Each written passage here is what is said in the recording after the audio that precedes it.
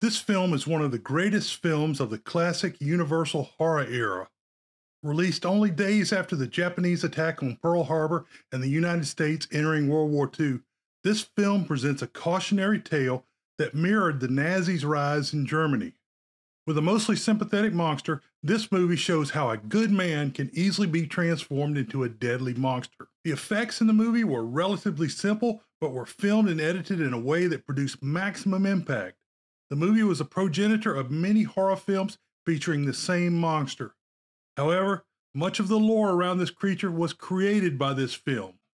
Even a man who is pure at heart and says his prayers by night may become a wolf when the wolfbane blooms and the autumn moon is bright.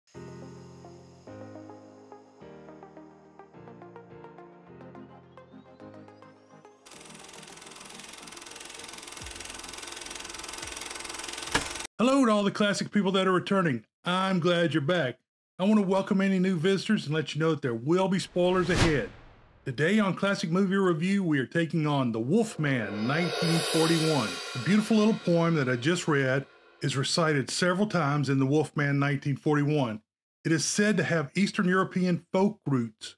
However, famed writer Curt Siodmak wrote it for this film and it has joined the werewolf lore as have many other elements from this movie.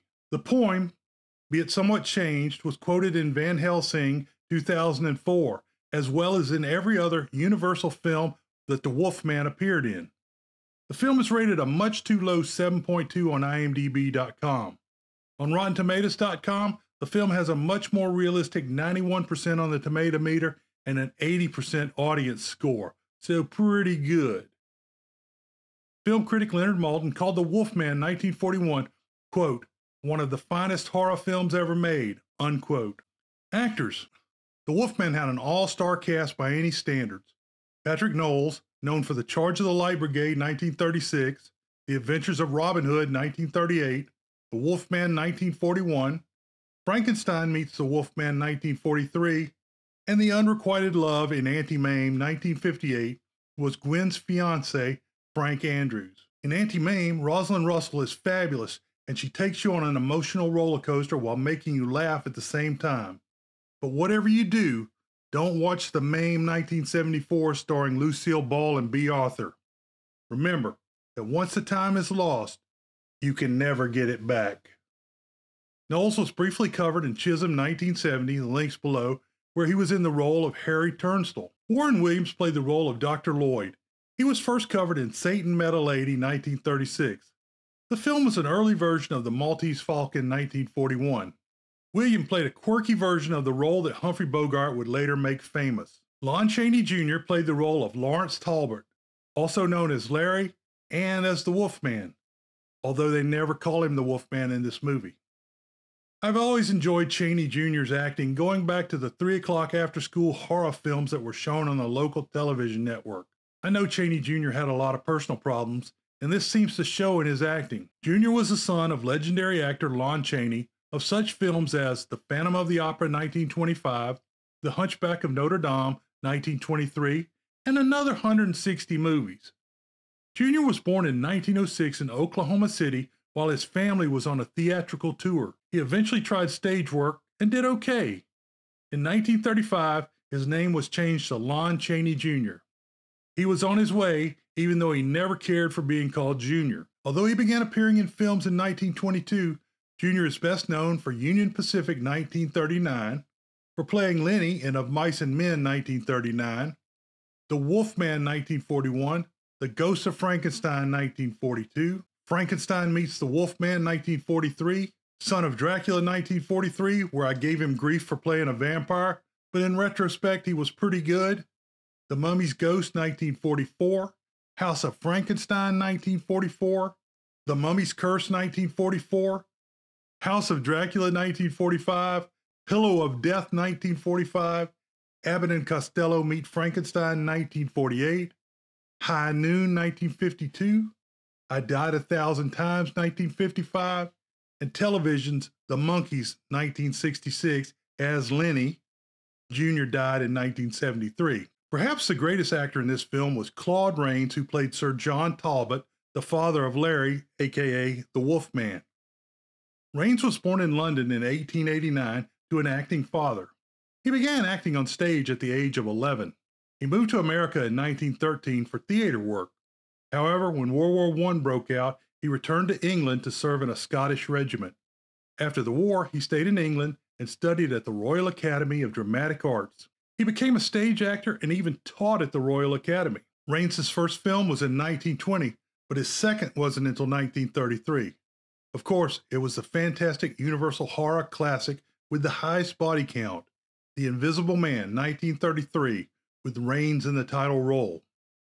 His other roles include Anthony Adverse, 1936, The Prince and the Pauper, 1937, In the Adventures of Robin Hood, 1938, and The Seahawk, 1940. Rains played a couple of real slimy roles.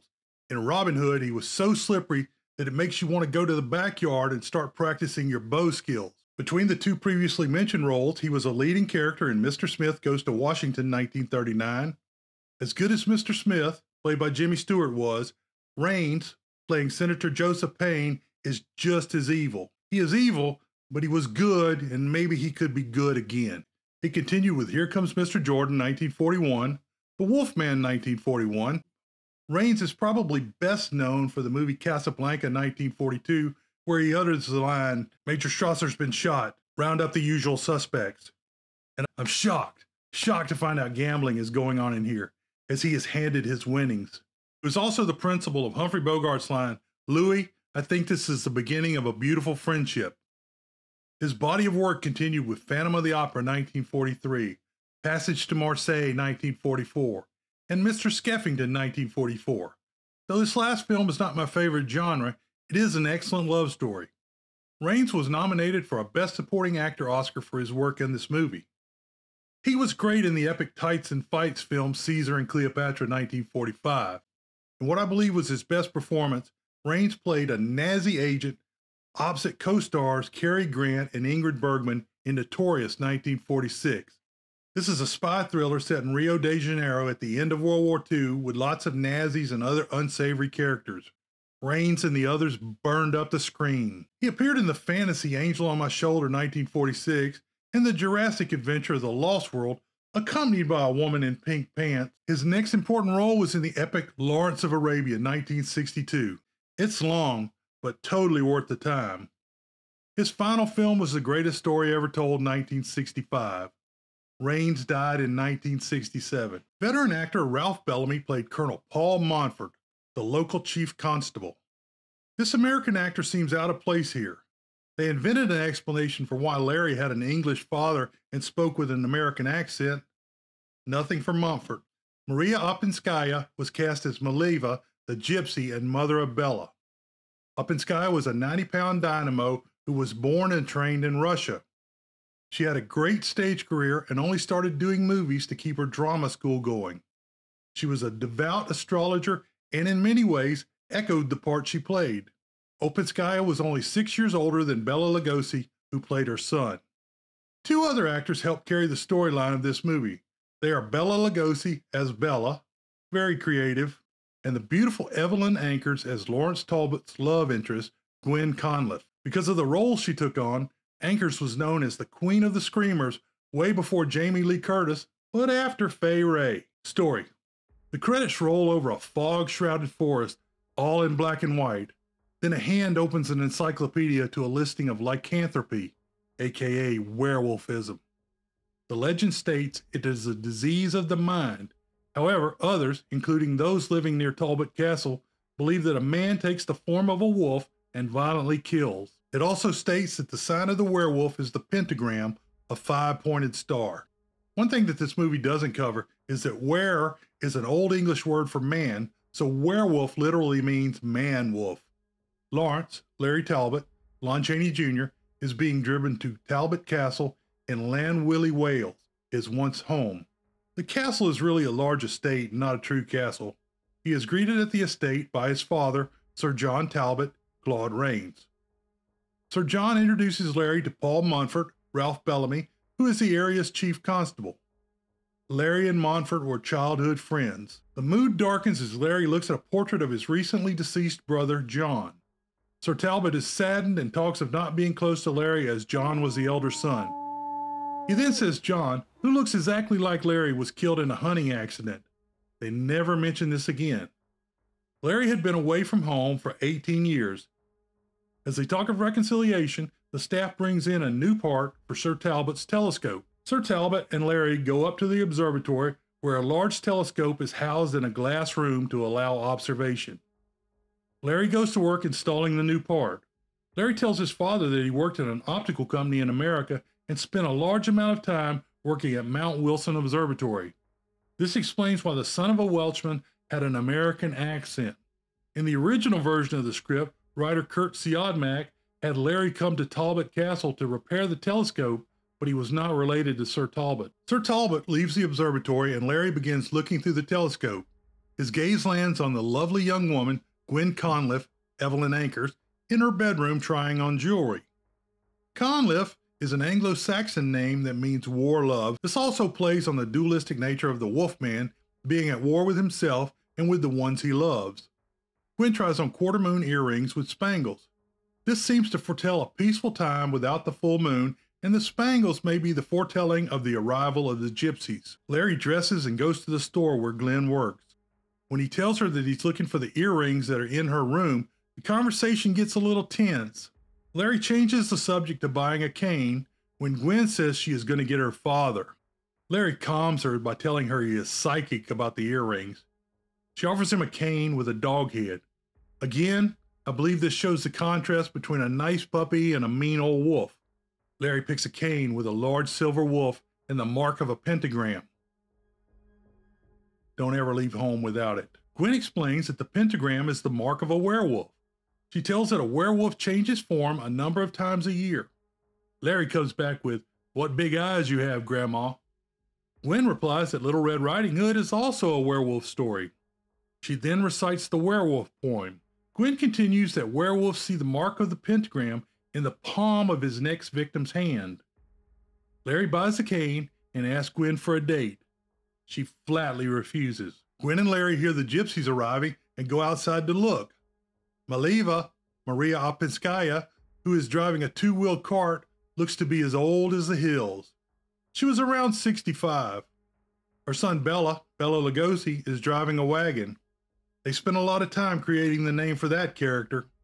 Bela was around 59 at the time of the movie, just six years younger than the woman playing his mother. Gypsies are itinerant entertainers believed to have migrated from the Indian subcontinent around a thousand years ago and settled in the Balkans in the 13th or 14th century. The name Gypsy may be derived from a shortening of Egyptian. However, they are now properly called Romani, reflecting their recent habitation in Romania. Is it odd that they come from the same place as Dracula? Gwen tells Larry that the gypsies are fortune tellers. Larry says he will be by to pick her up at 8. She says no for a second time. Larry returns home and meets with Sir Talbot. Sir Talbot confirms the story and says there is probably some truth to the werewolf legend. Sir Talbot then recites the poem. Sir Talbot encourages Larry to get to know the people as he will be their town overlord one day. The night is shrouded with fog. Gwen comes out of her shop at 8 p.m. and Larry is waiting. She has on the earrings and Larry has the cane. Don't leave home without it. He begs her to go to the gypsy camp with him. She consents, but then reveals her friend, Jenny, Fay Helm, who will be going along with the couple. The trio head into the dark woods. The fog is hanging low to the ground. Jenny picks some wolfbane and recites the werewolf poem. They arrive at the camp and are greeted by Bela. Maleva is moving around in the background. Jenny goes to get her fortune told while Larry cons Gwen into going for a lonely walk in the dark woods. He confesses about the telescope. She takes it reasonably well. Gwen tells that she is engaged to be married. Bela's reading for Jenny goes bad as Bela stops and begins rubbing his head. He has a pentagram on his forehead. Bela sees the pentagram in Jenny's palm. He tells her to come back the next night.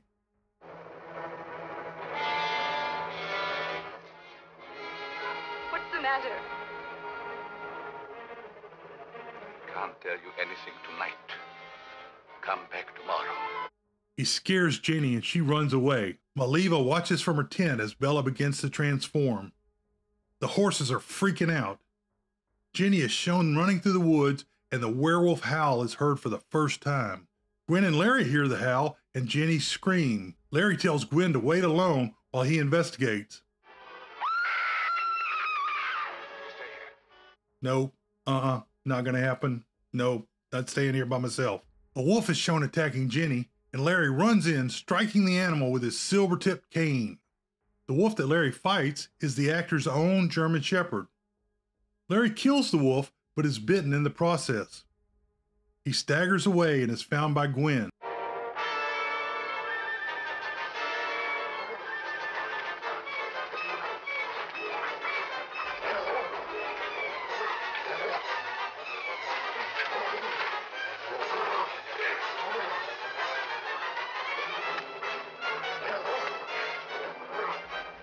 Just a little comment here. Maleva and Bela knew he was a werewolf. Wouldn't it have been a good idea to delay their arrival by one day? Maleva arrives with her two wheel cart. Gwen tells that Larry was bitten by a wolf. Maleva helps Larry get home. Sir Talbot and Constable Montfort are drinking at the estate when the wounded Larry is brought inside. Maleva ducks out. Larry remembers Jenny, and at the same time, a man arrives to tell Constable Montfort that Jenny has been murdered. The constable, Dr. Lloyd, Warren William, and some of the other villagers find Jenny in the woods, and Dr. Lloyd determines that she was bitten in the jugular by a large animal. They soon find Bela in human form. The doctor determines that Bela was beaten to death with a heavy object. He notes that Bela isn't wearing shoes. At last, they find Larry's silver tipped werewolf cane. Wolf tracks are found near the bodies. Larry wakes in bed and is soon disturbed by the arrival of Sir Talbot, Constable Montfort, and Dr. Lloyd. They have Larry's cane and want to know if it is his.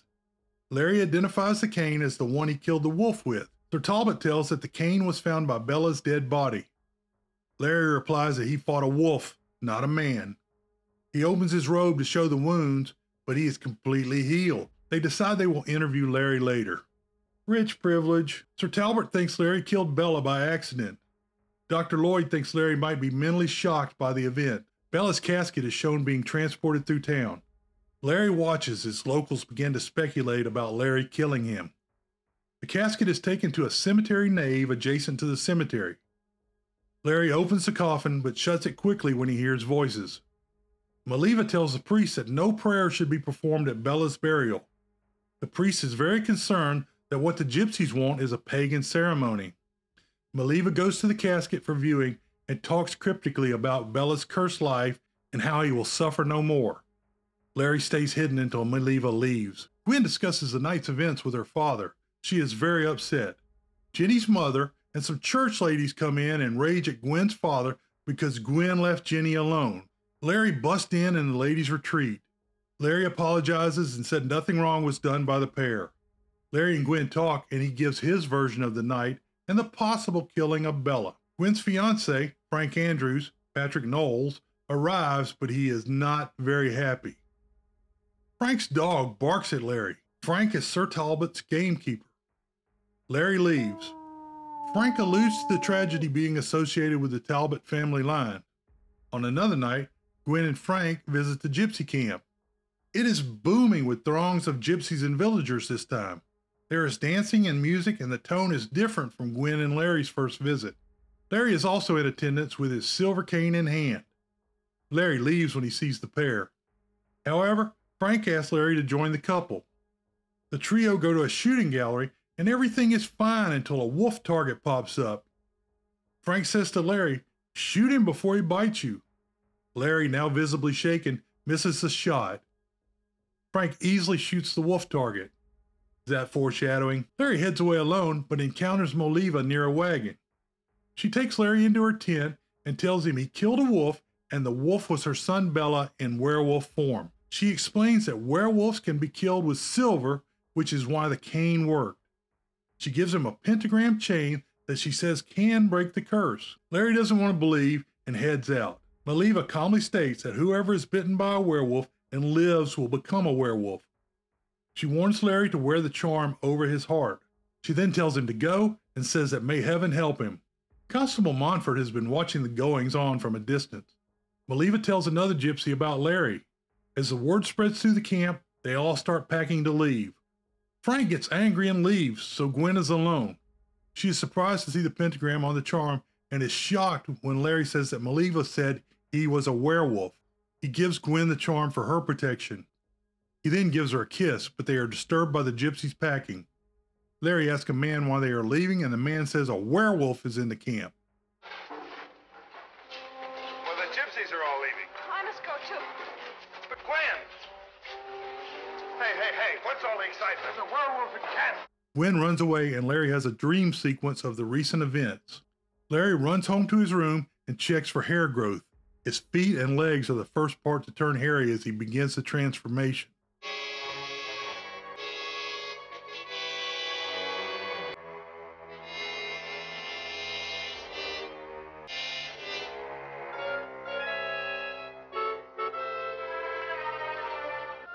This is a very good trivia question. Larry fully transforms into a werewolf, but it's not shown. He howls and then kills a nighttime gravedigger.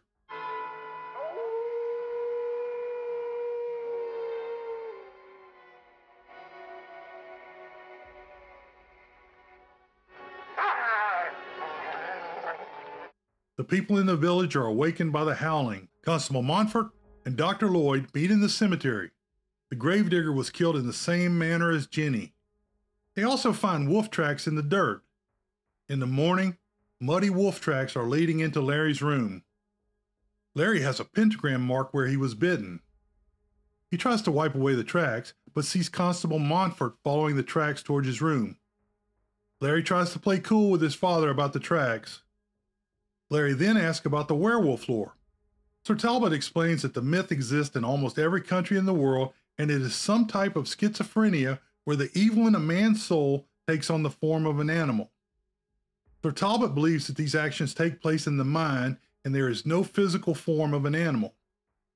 They decide to go to church. However, the church steps seem much too large for a small town. This was actually shot on a Universal set created for The Hunchback of Notre Dame, 1923, in which Lon Chaney Sr. played Quasimodo. The villagers are really spreading the tea. Larry and Sir Talbot have an awkward encounter with Gwen and her father on the steps of the church. The entire congregation looks at Larry as he stands in the back before ducking out. Sir Talbot, Constable Montfort, Frank, and Dr. Lloyd are at Castle Talbot discussing the killings when Larry arrives. Larry says it is not a wolf, but a true werewolf. Constable Montfort mocks Larry by calling for a werewolf hunt. Dr. Lloyd thinks the killings are a result of a mental problem. When the others leave, Dr. Lloyd tells Sir Talbot that Larry should be confined to a mental hospital for rest. Frank and Constable Montfort have men set out steel traps around the area. At night, the werewolf howl is heard again. Werewolf feet are shown walking through the woods. The werewolf steps into one of the traps and is caught.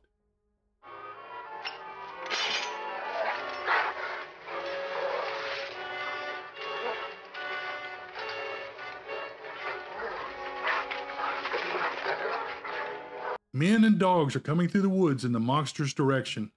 The dogs lose the trail for a moment. Maleva arrives in her two wheeled cart.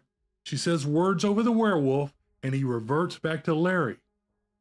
Larry flees but is stopped by a couple of searchers. He bluffs his way out, but Constable Montfort is on the trail. Larry goes to Gwen's store and wakes her by throwing rocks against the windows. She lets Larry inside the store. He says he is going away and can't take her along. Gwen is in love with Larry, but he sees the pentagram mark on her palm. He goes home and tells his father, Sir Talbot, that he is a werewolf. They hear the dogs and the men hunting in the woods. Larry begins to realize that the only way out is to die. Sir Talbot ties Larry to a chair so he can't go out. Sir Talbot has to leave Larry to meet with the hunters. Larry has him take the silver cane. Constable Montfort, Frank, and Dr. Lloyd are waiting in the woods with rifles. Sir Talbot leaves the other men, but soon runs into Maleva, who tells Sir Talbot he is protected by the cane. They hear shooting, and Sir Talbot runs back to the hunting stand. Larry is moving around as a full werewolf. Gwen talks to Maleva, but refuses to go with the gypsy and runs into the woods. Have you seen Larry? Don't go through the woods. Why? Listen, the hunt is on. But but I want to help him. You'd better come with me. Larry attacks Gwen.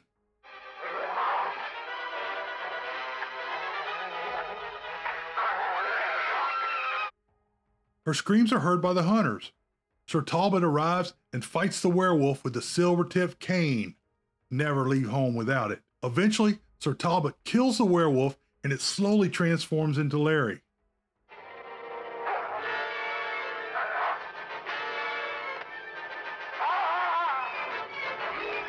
Maleva says a chant over Larry and says he will now have peace.